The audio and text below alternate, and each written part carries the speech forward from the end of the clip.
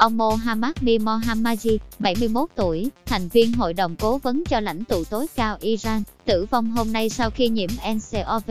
Ông Mir Mohammadi, thành viên hội đồng lợi ích Expediency Council, qua đời tại một bệnh viện ở thủ đô Tehran, trở thành quan chức cấp cao đầu tiên của Iran tử vong vì Covid-19, đài phát thanh nhà nước đưa tin.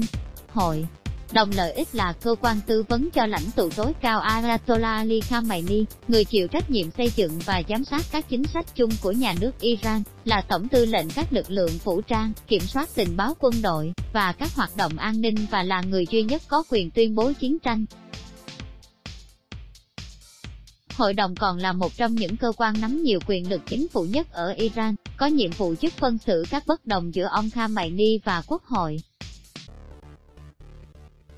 Ông Mohammad bin Mohammadi, thành viên Hội đồng Giám hộ Iran, tử vong hôm nay vì nhiễm NCOV. Ảnh Iran IFP News ông Mohammadi còn là đại biểu Quốc hội Iran, đại diện cho vùng Cam, nơi khởi phát Covid-19 ở quốc gia này. Truyền thông Iran cho hay mẹ của ông vừa qua đời vài ngày trước. Mir Hamaji qua đời khi nhiều quan chức cấp cao khác của Iran được xác nhận dương tính với NCOV, trong đó có và người đứng đầu lực lượng chuyên trách chống Covid-19 của chính phủ, nghị sĩ Mohammad Ali Ramadani Dastak, người đại diện của thành phố Astana Asrafia, hôm 29 tháng 2 cũng sau khi được xét nghiệm dương tính với NCOV.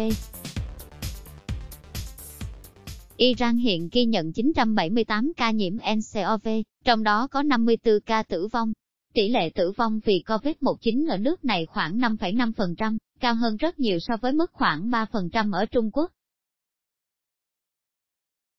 Khu vực Trung Đông cũng đã ghi nhận hơn 1.150 ca nhiễm NCOV, phần lớn liên quan tới Iran. Các chuyên gia đã bày tỏ lo ngại rằng số người nhiễm NCOV ở nước này, trên thực tế cao hơn nhiều so với công bố. Iran hôm 26 tháng 2 đã ban lệnh hạn chế đi lại với người nhiễm hoặc nghi nhiễm NCOV.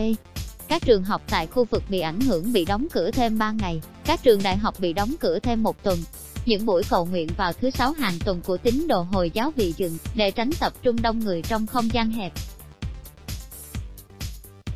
Tuy nhiên, các đền thờ lớn của người CI vẫn mở cửa bất chấp lời kêu gọi của giới chức.